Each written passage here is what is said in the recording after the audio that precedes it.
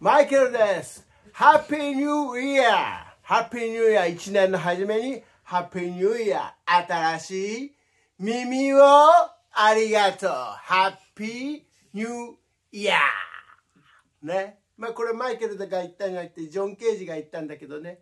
日本に来た時ね、ハッピーニューイヤーってね。ジョン・ケージらしいね。アメリカの作曲家ね。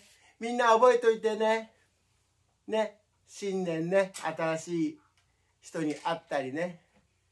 した時に、ハッピーニューイヤーってやろうね。ねえ。